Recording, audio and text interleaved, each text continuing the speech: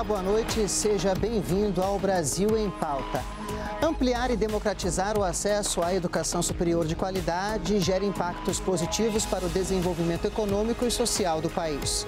Proporcionar este nível de ensino a uma parcela maior da população ajuda a diminuir as desigualdades, a promover o desenvolvimento científico e tecnológico e a geração de emprego e renda. Para falar sobre essa missão, eu recebo hoje o secretário de Educação Superior do Ministério da Educação, Arnaldo Barbosa. Seja muito bem-vindo aqui ao Brasil em Pauta, Arnaldo. Bom falar contigo sobre o Futurice. Muito obrigado pelo, pelo convite. É sempre importante discutirmos o futuro do país e nada como pautar o desenvolvimento do país a partir da educação de qualidade, que é tudo que almejamos.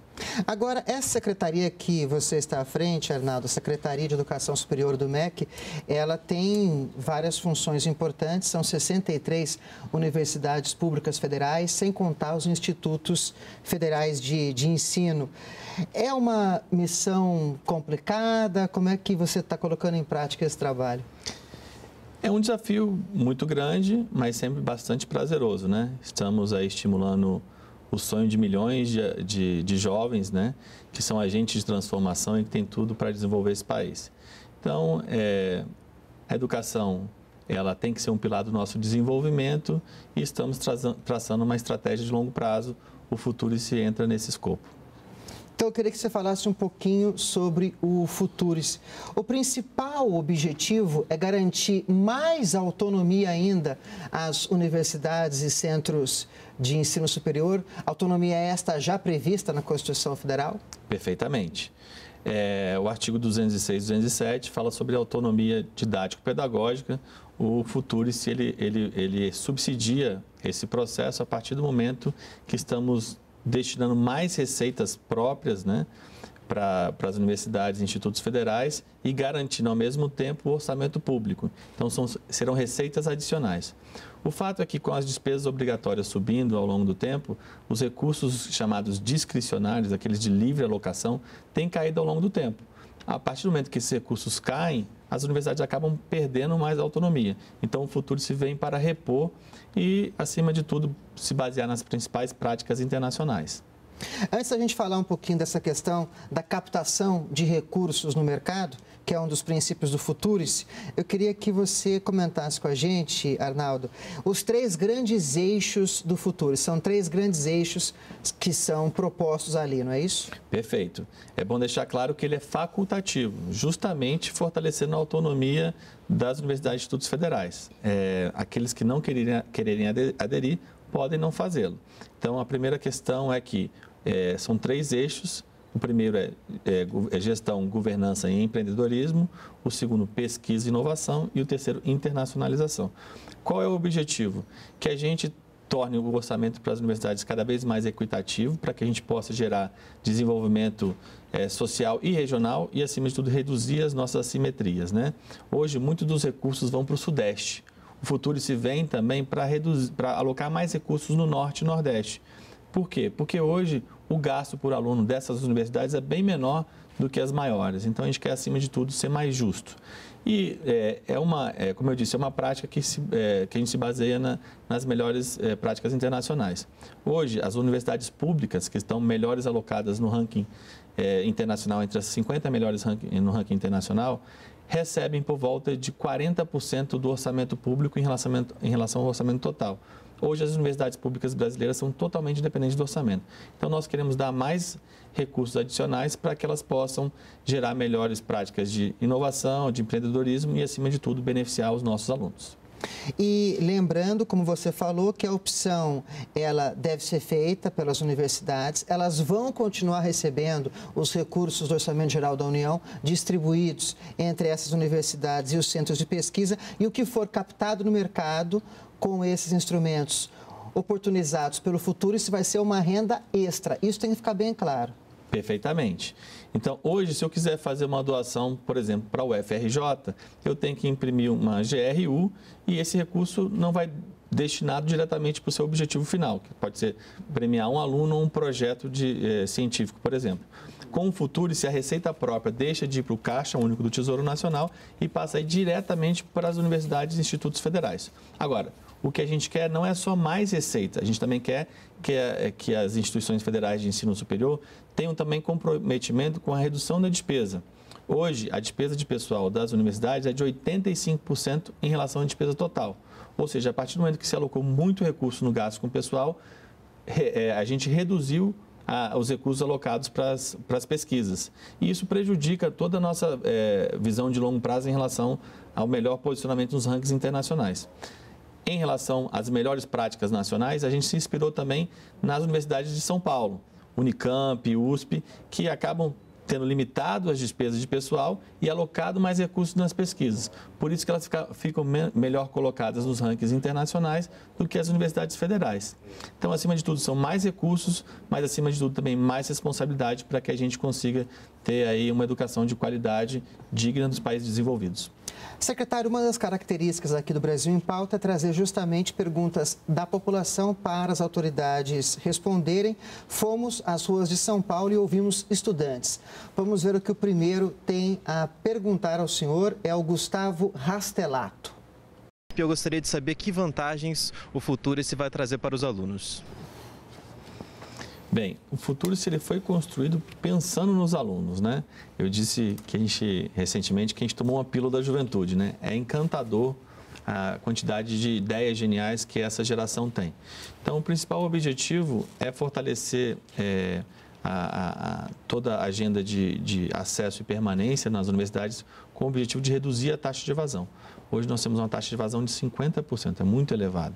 Então, o que a gente quer é que o aluno aquele aluno brilhante, ele não fique pensando em lançar um projeto, uma startup na, na garagem da sua casa. A gente quer que ele vá para uma biblioteca, que ele compartilhe seu conhecimento, que ele tenha maior interação e o objetivo, acima de tudo, prover mais financiamento, mais incentivo para que ele possa ter maiores índices de empregabilidade também. E, acima de tudo, per, é, permitir uma maior interação entre os departamentos. Hoje existe um excesso de departamentalização. O futuro, se ele, ele visa desenvolver uma, uma ação multidisciplinar, que é tudo que o mercado de trabalho exige. Então, a gente quer formar não só bons trabalhadores, também quanto bons empreendedores. Esse é o grande objetivo do Futuros. Estamos corrigindo um erro histórico de termos nos distanciado tanto dos nossos alunos. A ideia é nos reaproximarmos e transformá-los em agentes que podem promover o desenvolvimento desse país, porque essa geração ela é muito, ela, ela, ela tem um, é, uma capacidade... Tem acesso a uma quantidade é, de informação enorme, né? Que a gente não teve, né? Então, a gente, acima de tudo, é, na vida, a gente precisa passar o bastão adiante, né? E essa geração tem tudo para liderar esse país para um rumo muito melhor do que a gente tem hoje. Vamos a mais uma pergunta. Agora ela é do Vinícius de Souza, também de São Paulo. O futuro se quer privatizar as universidades públicas? Bom, justamente o contrário, pelo que eu entendo aqui na nossa conversa. É, o que a gente sugere, especialmente para os alunos, né, é que eles sempre consultem a fonte primária. Qual a fonte primária? É o anteprojeto que a gente botou na, na internet, toda a consulta pública. Não leia somente o que os amigos estão falando, o que os jornais estão falando. Então, isso é uma falsa polêmica. O, o, o, é, a educação continua sendo gratuita, né? E, acima de tudo, a gente fortalece a autonomia das universidades. Então, não há que se falar em privatização. Existe uma polêmica sobre as organizações sociais, fundações de apoio. É bom deixar claro que quem decide o destino das universidades são os conselhos superiores, de acordo com a Lei de Diretrizes Básicas da Educação, a LDB. Então, esses, essas contratualizações com organizações ou fundações de apoio serão escolhidas pelos próprios reitores. Então, acima de tudo, a gente vai ter uma educação cada vez mais forte né? E, acima de tudo, não tem nenhuma pauta sobre privatização, porque não estamos cobrando mensalidade e não estamos mudando o modelo jurídico. As universidades continuarão sendo autarquias. E continuarão recebendo recursos do Orçamento Geral da União. Perfeito. Isso que eu também ia perguntar para o senhor, a gente já falou um pouquinho sobre isso, os recursos do OGU continuarão vindo para as universidades. Agora, a questão do Futurice, de ter como um dos seus princípios garantir essa maior autonomia financeira às universidades públicas federais e aos institutos de pesquisa, aos institutos técnicos, e permitir que eles captem recursos no mercado de diferentes formas, também permite que as universidades, elas, de uma certa forma, driblem restrições orçamentárias, contingenciamentos, o teto de gastos. É isso mesmo? Justamente, nós temos uma nova estratégia de financiamento de longo prazo com três ações. Né? Uma de prover mais acesso a recursos creditícios, financeiros, que a gente chama de funding. O segundo é fortalecer os fundos patrimoniais, ou seja, fundos de autonomia financeira das universidades. Então, aquele exemplo da doação, em vez de ir para o Caixa Único do Tesouro Nacional, vai direto para a universidade. Isso cria um sentimento de pertencimento muito forte né, é, entre a sociedade e as instituições federais. E o terceiro é um instrumento que a gente está chamando de Fundo Soberano do Conhecimento, que vai ser um, um fundo negociado em bolsa, recursos adicionais né, e flexíveis. Então, aquela pessoa que quer investir é, e pensar na sua poupança de longo prazo, em vez de investir em títulos públicos, em vez de botar seu dinheiro na poupança, poderá comprar cotas de projetos lançados pelas universidades, que terão aí grande valia no mercado. Por exemplo, o Uber, o Airbnb saíram de universidades, o iFood saiu da, da USP.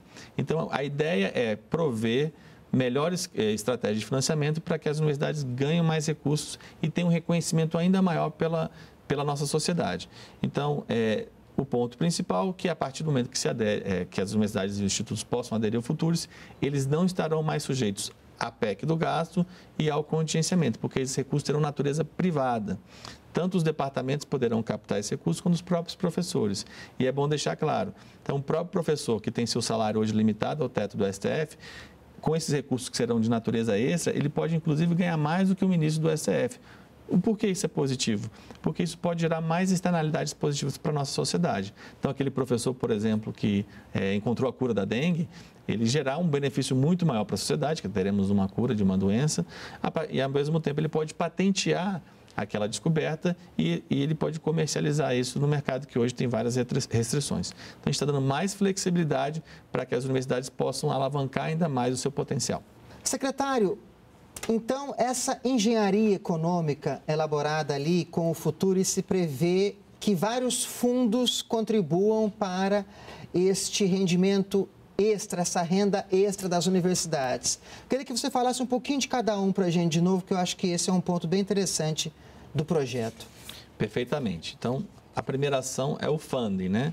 Hoje tem uma dificuldade de acesso a recursos no mercado. Então, por exemplo, as empresas juniores, as fundações de apoio, as organizações sociais poderão acessar recursos que hoje não estão sendo emprestados. Por exemplo, é, no Nordeste, nós temos o Fundo do Nordeste, que o, banco, o BNB, o Banco do Nordeste, empresta para os seus clientes. O Fundo Constitucional do Fundo Nordeste. Fundo Constitucional. Então, esse recurso tem cerca de 33 bilhões entre Norte, Nordeste e Centro-Oeste que não são emprestados. A gente está disponibilizando esses recursos para que uma empresa júnior, por exemplo, ou uma startup, ou uma sociedade de propósito específico, um professor, um departamento, possa acessar esses recursos com o intuito de gerar mais patentes, mais é, ações de empreendedorismo e, acima de tudo, maior, mais conhecimento. E, por Esse... fim, mais produtos também no mercado. Isso, isso gera um círculo virtuoso, né? traz cada vez mais receitas de longo prazo adicionais ao orçamento público para as universidades.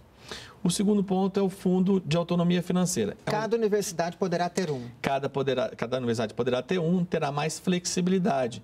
E aí esses recursos terão natureza privada. Como acontece lá fora. Por exemplo, Harvard tem um fundo patrimonial de 39,2 é, bilhões de dólares. O University of Texas mais ou menos 30 bilhões também. Inclusive, esses fundos patrimoniais já investem recursos no Brasil. Estamos, inclusive, já conversando com esses gestores para disponibilizar produtos é, e projetos né, para esses investidores. E o terceiro é o que a gente chama de Fundo Soberano do Conhecimento. Os países desenvolvidos se valeram desse instrumento de, de, de, de recurso de longo prazo, especialmente proveniente de petróleo, de minério. Noruega. Noruega é um grande caso de sucesso, que gera recursos adicionais para a economia. O que a gente está fazendo? Gerando um fundo soberano do conhecimento a partir de um recurso que é infinito que é o próprio conhecimento. E a gente acredita muito nas nossas instituições federais de ensino superior, acreditamos muito nos nossos alunos, por isso que a gente está disponibilizando mais recursos. Agora, da mesma forma, também a gente quer contraprestações em termos de governança. Hoje, o índice de governança do TCU para as nossas universidades e institutos federais é bem aquém do que a gente deveria é, ter de melhores práticas. Então, a gente também está exigindo... As melhores práticas vão ser premiadas no futuro? Esse é o grande objetivo. A gente não quer só premiar indicadores de processo, a gente quer ver indicadores de resultado, como, por exemplo, uma queda numa taxa de evasão, por exemplo, ou melhor posicionamento no ranking internacional de pesquisa.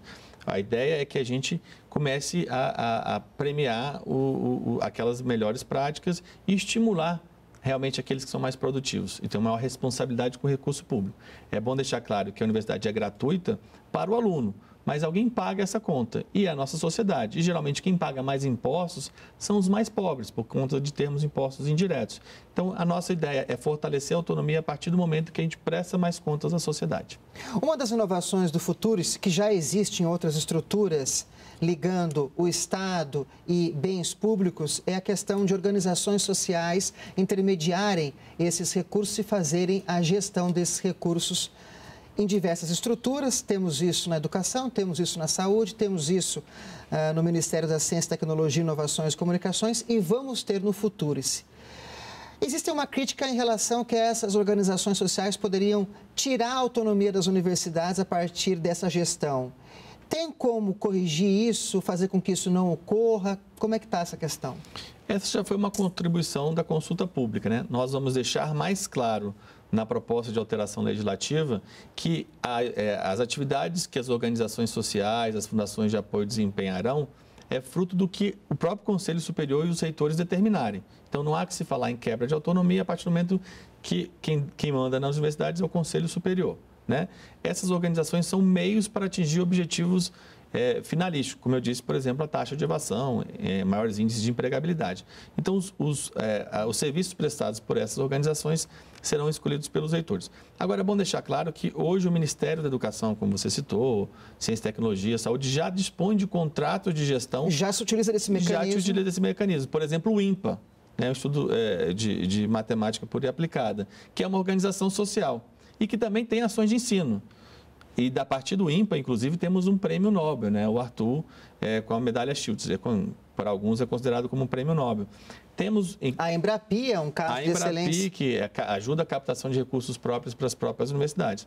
Então, uma das contribuições da consulta pública é deixar mais claro também que as fundações de apoio, que têm uma relação mais próxima com as universidades, também poderão ser utilizadas para gerar os benefícios que o futuro se é, é, almeja para a nossa sociedade. Então, é, não podemos criar uma guerra de narrativas. O importante é deixar claro que há 30 anos, há 30 anos, os reitores vêm pedindo para que eles tenham acesso direto à receita própria. Então, esse é o principal objetivo do Futuros.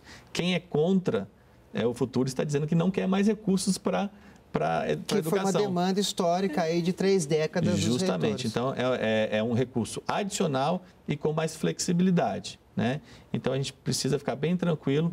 É, enquanto muito questionam o papel das organizações sociais, é bom deixar claro que algumas universidades, alguns departamentos querem se tornar organização social. Por exemplo, o Instituto Internacional de Física, que pertence à Universidade Federal do Rio Grande do Norte. Eles são um instituto que querem se tornar uma organização social. Então a gente está trabalhando para que a gente consiga é, atender todas as demandas, né? E essas contribuições são muito importantes para a gente aperfeiçoar a educação do nosso país. E o diálogo com o Congresso? O senhor e o ministro da Educação foram ao Congresso algumas vezes desde que o Futurice foi lançado. Como é que está ali a conversa com os parlamentares? Acho que é, essa é a consulta pública que, de fato, é, é, é, a, é a que mais vale a pena, né? Porque na democracia, quem determina é, é, a direção de um projeto é o Congresso Nacional. E aqueles ali, que representam o povo. Aqueles que representam o povo e os congressistas têm se aproximado cada vez mais das universidades. O ministro tem chamado é, os congressistas para debaterem as necessidades das universidades, inclusive por meio de emendas. Né? É, nessa restrição é, orçamentária, muitos acabam destinando os recursos para para as universidades, para os institutos federais. Então, fomos chamados ao Congresso, fomos convidados para a Comissão de Educação, Finanças e Tributação. Sempre estamos indo para esclarecer esses vários pontos e também estamos preparando é, a base para com mais informações para defender o projeto que é tão importante para o desenvolvimento do país. E a consulta pública? A consulta pública vai ser condensada e vai formar esse instrumento legislativo? Vai ser um projeto de lei ou vai ser uma medida provisória? É, existe urgência, né? Poderia ser facilmente ser enviado por medida provisória, mas também a gente pode ter um instrumento importante que é o projeto de lei com regime de urgência. É algo que precisa ser debatido, é uma decisão é, que cabe a, especialmente ao Palácio do Planalto, né? A gente sempre vai mostrar os dois lados, né? O mais importante é que a gente tenha que criar consensos incrementais, né? Cada vez mais a gente está trabalhando com vários reitores. É bom deixar claro que pelo menos 16 reitores já estarão conosco, já na largada, que é uma adesão muito forte. É, e Dentre assim, eles, grandes universidades, Federal de São Carlos. É, tem várias, ainda tem que fazer uma discussão e é bom deixar claro que não deve se falar em aderir ou não o Futurice é, ou rejeitar o projeto nesse momento, que precisa ser aprovado pelo Congresso Nacional. Só pode aderir a partir de, de, de é, assinar um termo de adesão, que é uma espécie de contrato, e só poderá fazê-lo depois de aprovado. Mas várias universidades, dentro dessas 16, querem aperfeiçoar o projeto, porque eles acreditam que a gente tem que sair dessa polarização. Não precisa ficar discutindo é, é, os vários partidos. Todos nós temos uma única bandeira, que é a educação de qualidade. Então, a gente tem que realmente baixar um pouco a temperatura e pensar no, no desenvolvimento do país e, acima de tudo, gerar mais benefícios para os nossos filhos e netos. É, então, dentro da consulta pública, foi quase já um projeto de iniciativa popular. 59, cerca de 59 mil pessoas é, se inscreveram no nosso site e já geraram mais de 20 mil é, comentários. Então, agora a gente está consolidando é, essas proposições, essas, esses aperfeiçoamentos do projeto, do anteprojeto que, que enviamos. E, acima de tudo, a gente pode adiantar que, primeiramente, né, fundações de apoio terão é, muita liberdade na contratualização com organizações, com, com as universidades, que é uma, um pleito dos reitores. O segundo ponto que a gente também quer, é, acima de tudo, é premiar as universidades. Então, a gente está querendo dispensar de licitação aqueles projetos que são executados por universidades. Por exemplo, se contrata muito com a FGV, com o INSPER, né? ou com as PUCs, por que, a gente não pode contratar serviços com universidades? Em vez de contratar uma fábrica de software, a gente pode ter um, um termo de execução descentralizada para fazer com o Departamento de Ciência de Computação das universidades que são tão bons, né? Da mesma forma, as empresas juniores. Eu quero fazer. Esse, isso é um movimento muito legal. Acho que é a pílula da juventude, é assim, é onde a gente realmente começa a viver um sonho. Temos 22 mil empresários universitários. É, é, um movimento que começou em 67 na França e hoje eh, entrou no Brasil em 88. Hoje o Brasil é um país, considerado o país mais empreendedor em termos universitários. Então, os serviços contratados com essas empresas juniores serão dispensados de licitação. Então, a gente quer estimular esse movimento para que a gente possa cada vez mais se aproximar do mercado de trabalho para gerar mais empregos para, os nossos alunos e para a nossa sociedade. E quando que vai ter essa definição da finalização do projeto? Vai ter uma coletiva? Como é que vai ser o anúncio público disso e o envio ao Congresso Nacional? Perfeito. Faremos uma coletiva para discutir quais foram os principais pontos, quais, onde a gente consegue é, esclarecer é dúvidas, né? mas, acima de tudo, dar mais segurança jurídica. Agora a gente está fazendo um grupo é, de juristas para a gente deixar mais claro alguns pontos que foram questionados ao longo desse tempo. E isso, isso é bastante positivo, né? Essas críticas a gente vê como positivas, porque geram necessidade de aperfeiçoamento da própria é, do próprio anteprojeto. A consulta então, pública foi aberta para receber contribuições. É, então, até é injusto falar que não escutamos os especialistas, né? Acho que todos os especialistas são aqueles que acreditam na educação, então os reitores puderem contribuir, os professores, os estudantes, foi aberto para toda a sociedade, até porque a educação por ser um bem público, ela recebe bastante subsídios da sociedade, porque ela gera mais retorno de econômico e social. Então, nós acreditamos é, na, nossa, na nossa educação. Então, a consulta pública a gente deve consolidar nas próximas semanas e, a partir daí, enviar o projeto para o Congresso Nacional. Nos Estados Unidos, fala-se muito que as universidades elas estão muito ligadas a, ao mercado. E as universidades norte-americanas elas estão entre as melhores do mundo. A ideia também com o futuro é promover isso no Brasil ou intensificar isso, quer dizer, aproximar ainda mais as universidades, que são centros de pesquisa, de excelência, desenvolvimento do conhecimento, do mercado, do produto final ali, fazer com que a universidade também entre nessa engrenagem do movimento da economia? Perfeitamente. Acho que a partir do Futurice, é, é, os institutos e as universidades se tornam polo de desenvolvimento é, do país e a gente está retornando à necessidade da própria concepção da universidade. A universidade forma alunos para o mercado de trabalho. Então, ela tem que estar sempre atenta é, a, a, ao emprego, né, a indústria 4.0, toda a necessidade de a gente aumentar a produtividade na área de serviços, que é a nossa vocação. Então, a ideia é trazer recursos adicionais a partir dessa aproximação entre o setor privado, setor produtivo e as universidades. Então, o que eu diria é o seguinte: um professor, às vezes um pesquisador, se ele for direto para o mercado de trabalho, às vezes ele, ele, ele, ele, não tem aquele perfil. Da mesma forma, se a empresa não se aproximar das universidades, ela jamais se tornará uma empresa inovadora, uma empresa disruptiva. O que a gente está fazendo é, é, uma, é um casamento entre, entre o capital humano e aquele que pode gerar mais recursos. Né? Então, isso é, é, é feito por várias universidades, a gente só está potencializando, deixando, dando mais segurança jurídica e se aproximando, acima de tudo, das universidades que têm destaque internacional, inclusive as públicas, como eu disse, especialmente aí aquelas que estão entre as 50 melhores posições no ranking internacional, a maior parte do orçamento público das universidades públicas vem de, de receitas privadas. Alguns questionam, ah, mas a pesquisa não será financiada. Não, continuará sendo financiada, porque o orçamento vai continuar sendo destinado para as universidades. Então, é, é, o orçamento público também fomentará a pesquisa. O, o que a gente está trazendo é, por acreditar muito e sermos apaixonados pelo potencial é, das nossas universidades, nós estamos é, alocando recursos adicionais. Secretário, muito obrigado pelos esclarecimentos. Futuros, pelo que eu vejo, ele realmente vai promover essa maior autonomia das universidades, esse fortalecimento delas e esse diálogo com o século XXI. Maravilha, né? É, o futuro já deixa um legado de colocar a educação no debate do desenvolvimento do país, é algo que a gente não fez nos últimos 50 anos, e acima de tudo, isso gera uma crítica construtiva para todos nós. Nós temos que nos abrir sobre as melhores práticas internacionais e exigir cada vez mais, porque nós podemos mais, podemos dar um resultado maior para a sociedade. Então, a gente, nós temos que realmente olhar, é, é, acreditar no nosso potencial, porque a gente ficou muito distante é, do debate internacional e agora a gente tem um potencial de alavancar o nosso crescimento por meio da educação. Vamos conversar de novo sobre futuros. Obrigado, até a próxima. Eu conversei com o secretário de Educação Superior do Ministério da Educação, Arnaldo Barbosa.